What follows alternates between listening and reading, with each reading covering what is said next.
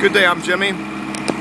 What we have is a 2004 Wabash reefer trailer, 53 feet long. The refrigerator unit is running right now. We'll do a quick walk around and get back to the reefer unit in a minute. I think the video is the best way to really show what's going on to do because you get to see a walkthrough just like as I see it. Uh, we got the fuel tank right here up front. And we'll go back the aluminum floor. And we'll do a quick walk back here. Look at the rear axles. Tires look like actually they're in fair condition. I would have to say they probably get you to uh, your shop. You're probably going to want to replace the tires. I'm not a operator, but from looking at the tires, that's what my thoughts would be. We'll get another view from the back right here. The motor immediately starts up.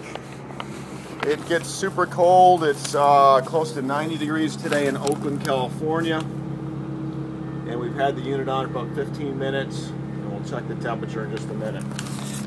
Can open the back door. Come on. One second on the video. All right, we're gonna take a walk through the unit here. Ah. Yes, it's quite cold in here. I can almost see my breath.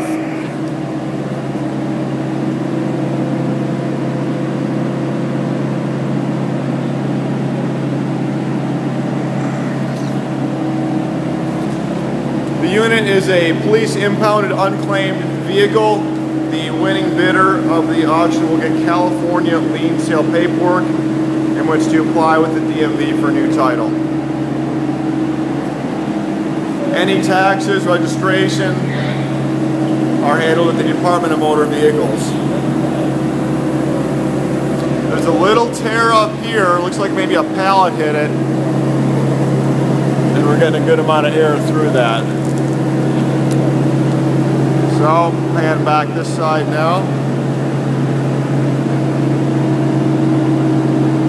The floor looks pretty good. I'm going to put the camera on the floor and we'll move from the right side to the left side. People like to see how straight it is.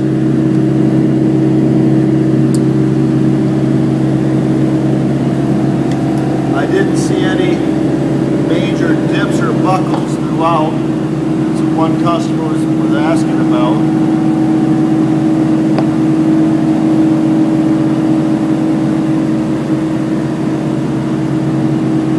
There you go. And we'll do one more shot coming in the other way.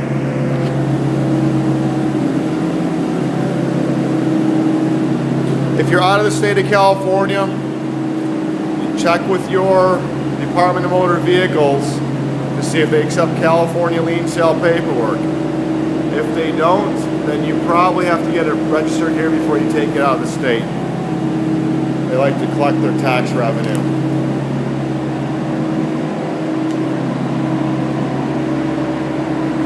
All right, we're gonna put the camera back on the floor and look at it the other direction. You go, and I'm gonna try to walk and not get you or myself too dizzy.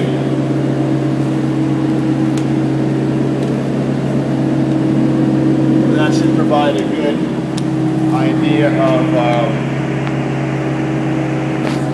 the trailer.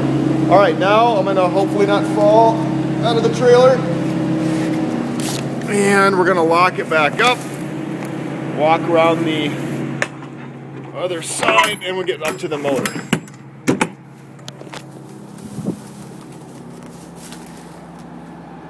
There you go. One more peek from this side as we're going through. We're gonna look underneath. Tires. Got the tires again. And this side. So the, my opinion, you'll need new tires. I already mentioned that. Alrighty. Let's we get some light up here. I'm gonna walk through just like this so you guys can get a quick peek of uh, the underneath there.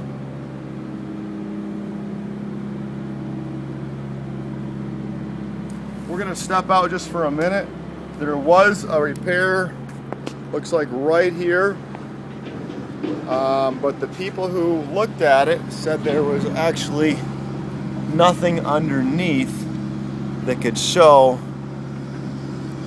of any issues. So just wanted to let you know there. All right, back again.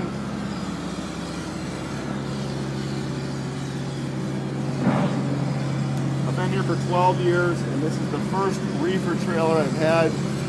So I, if you're looking at the listing, I'm very confident you'll have more knowledge on this than I will. Alrighty, we're gonna zoom out real quick. Full picture of the unit. And we're gonna open the engine doors, take a quick peek in there.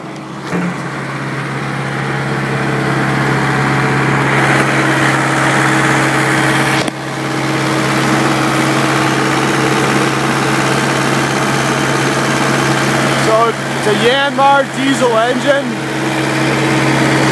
Aside from pushing the button to start it, I really know nothing about it. It says it has 9,900 hours. The current temperature is down to 53, 52 degrees, and the outside temperatures in the upper 80s. Um, we had this last week we had it down to five degrees above we just turned it off. So it is a uh, nice chill box there. All right. I thank all of you for watching our our video. I wish all of you luck with bidding on the trailer. If you have any questions, I would prefer if you asked before the auction. And good luck to all.